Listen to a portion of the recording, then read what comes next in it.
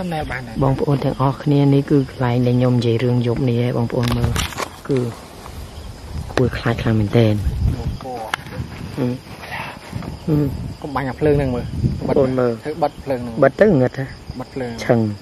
អូស្រែងមកពីភ្លើង7យើងដាក់ពុំអននេះទុនហើយខាងក្រោយហ្នឹងគឺមាត់ទឹកបាទវីដេអូចាញ់ទុននេះនេះគឺដើមអាស័យបងប្អូននេះមិនមែនខ្ញុំអឺអីគេណា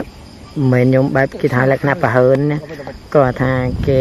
រៀបធ្វើបោះតង់យប់ហ្នឹងទៅខ្ញុំក៏មិននិយាយរឿងដែរដល់ពេលអញ្ចឹងកន្លែងគួរខ្លាញ់តិចហ៊ានហ៊ានចាំប្រាប់ថាយប់នេះដេញយ៉ាងไงនេះតែទាំងអស់គ្នានេះគឺគប់ឲ្យដប់អស័យហ្នឹងនេះគឺទៀហ៊ូចើហ៊ូបាទជម្រាបសួរបងប្អូនទាំងអស់